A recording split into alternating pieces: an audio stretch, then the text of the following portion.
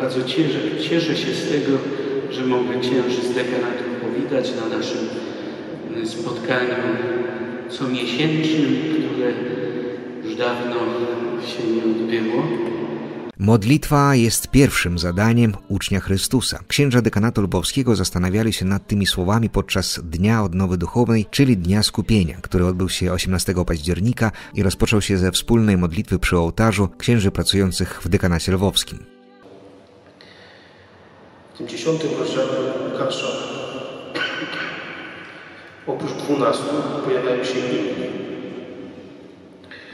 72, których Pan posyła przed sobą. To jest bardzo ważne, dlatego że nie tylko apostołowie mają misję zleconą przez Jezusa. Mają ją również inni. I, I to bezpośrednio od Pana. To Pan wyznaczył innych 72. Czyli nie za pośrednictwem, przez zlecenie ze strony apostołów.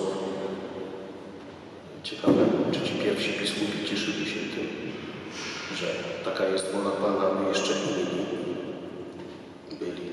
Ojciec duchowny duchowieństwa lwowskiego, ojciec Paweł Oduj, podkreślił główne zasady synodalności w Kościele, a są to komunia, uczestnictwo i misja, gdzie każdy z duchownych słucha i działa w imię dobra wspólnoty wierzących, czyli Kościoła. Księża wymienili się także swoim doświadczeniem co do nowych wyzwań, które niesie wojna. Mianowicie omawiali sposoby, jak najlepiej zapewnić duchowe wsparcie, a także pomoc materialną, zwłaszcza wojskowym i osobom najbardziej potrzebującym.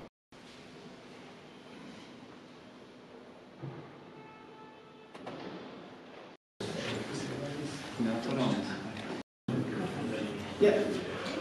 Myśmy mieli mieć spotkanie 24 lutego. I wiecie co? I, y, ja nawet nie pamiętam dokładnie, co chciałem e, sobie, a co powiedzieć. Nawet wiecie, jakby. Bo ja mówię, raczej takie myślenie raczej mamy coś negatywnego z dużą ostrością.